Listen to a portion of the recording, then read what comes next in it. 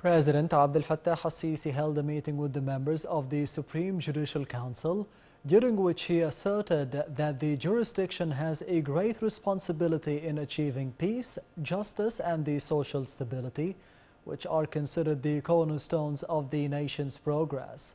The details follow.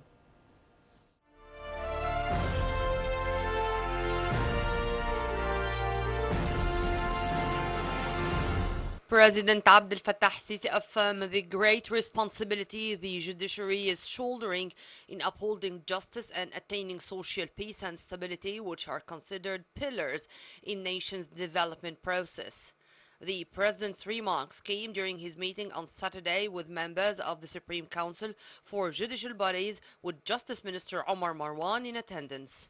Presidential spokesperson Ambassador Bassam Radi said the president highlighted that the state is keen on judiciary independence and non-interference in its affairs. Radi added that the head of state stressed the importance of developing the justice system to make it more effective and to ensure that court decisions are fast and fair in order to guarantee the rights of citizens respected. The meeting came within the framework of marking the Egyptian Judiciary Day, which is celebrated each year in appreciation of the great role played by the judicial institutions and bodies in entrenching and safeguarding the constitutional principles and upholding the rule of law. Members of the Supreme Council for Judicial Bodies voiced appreciation for President Sisi's keenness on meeting with them to mark the Egyptian Judiciary Day. They also pointed out to the great attention paid by the state to the judiciary system system.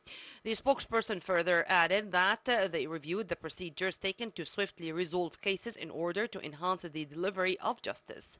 Justice Minister Councillor Marwan, for his part, asserted the fact that the judiciary during the era of President Sisi witnessed unprecedented attention as women also occupied judicial posts and distinguished judicial figures were honored.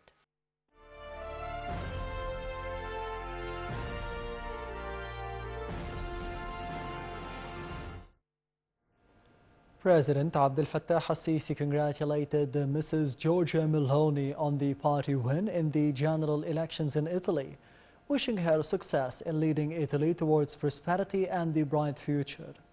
Al-Sisi also expressed that he is looking forward to resuming cooperation with her in the framework of historical partnership between the two countries, boosting bilateral ties in all domains.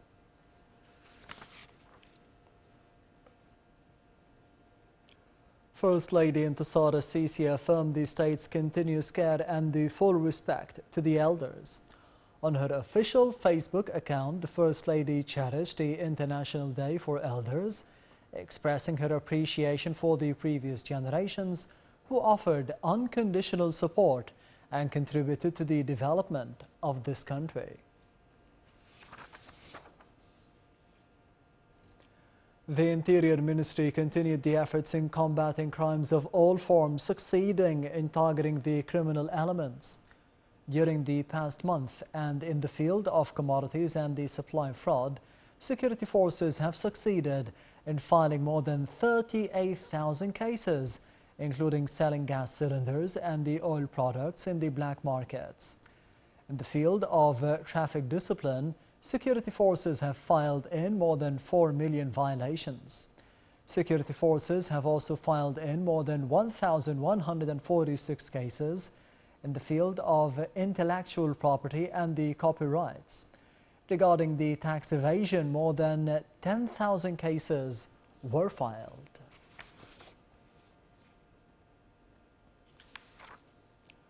After winning the presidency of uh, the Arab Parliament for another term, Adil Al-Assoumi vowed to cooperate with the Arab parliamentarians to boost the role of the Arab Parliament on the Arab, regional and the international arenas. Addressing the Parliament during the procedural session held to elect the Speaker, Al-Assoumi thanked the parliamentarians for renewing their trust, as he also thanked the MP Muhammad El Yamahi as an honest rival. Al-Assoumi asserted that the coming period requires hard work through the tough challenges facing the Arab world, highlighting the positive role the parliament is playing to boost the Arab joint action.